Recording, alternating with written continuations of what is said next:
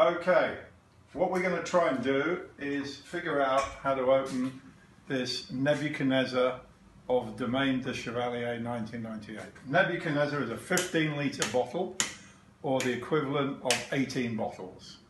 And the real problem with it is, one, the cork's a monster to get out, and then secondly, how to get the wine out the bottle. And we're going to try and do that using a siphon or siphon. So this capsule protects the wine and the cork, but it is a pain in the neck to get rid of.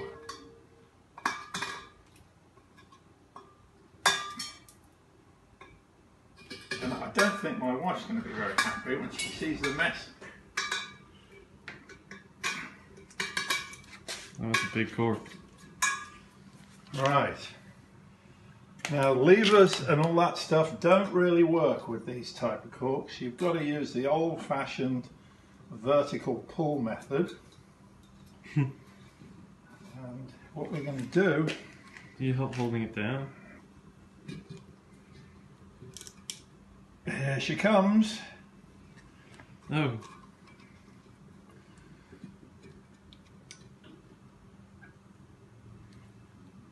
Ooh. Oh, what a beauty. Aye, aye, aye, aye, aye.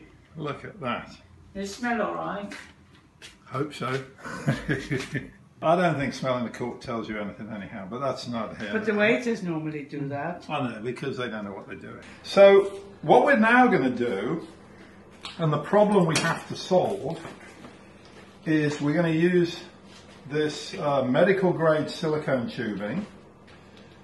We're going to measure the length inside the bottle and put a mark, and that's as deep as we want to go. But we need to find a way of securing it while it's in the bottle. And my solution is to take the cork, I don't know whether it's a good solution, and see if I can drill um, two holes. Those, those two holes, one for breathing, to let the air in, and one to um, enable us to filter it. There you through.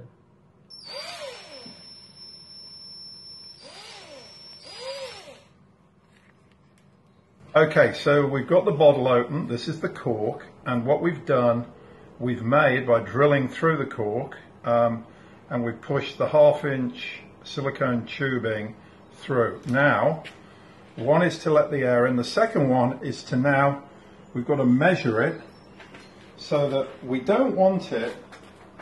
Um, we don't want it on the very bottom because then it, it will be sucking up the sediment as opposed to the good wine.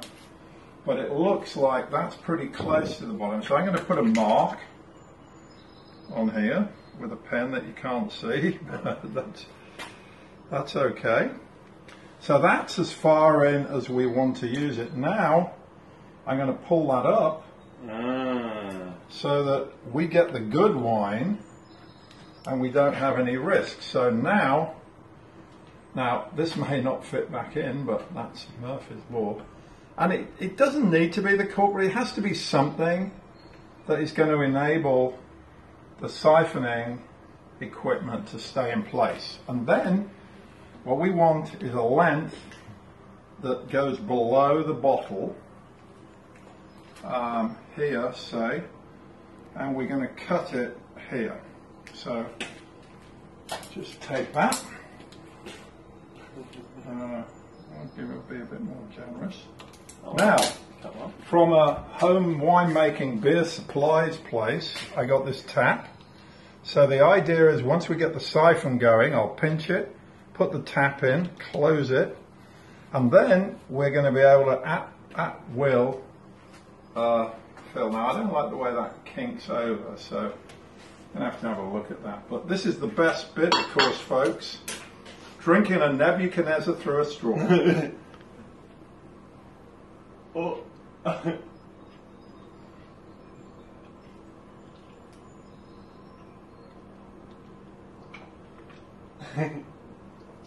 Well, that's very nice. I got this. So there we go. We start filling. Oh, what have I done? I haven't got it lowered. That's the problem. Okay. Can you um, just hold that? Thank you. I'm going to, now you can move it a sec.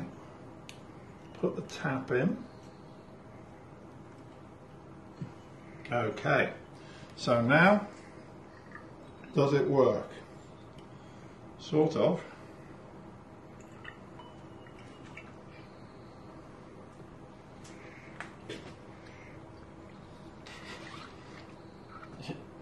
I'm gonna be hammered before it starts working. Hold it lower. Oh wow. You need to keep the tube open. Okay. Oh, it's going now. So, what we've got going here is our first What's that? decanter of Domaine de Chevalier. You get ready to it's put- almost full. Dad, Dad, it's mm-hmm. getting full. Full. And then we switch it off. Okay. Domaine de Chevalier Nebuchadnezzar on tap. What could be better?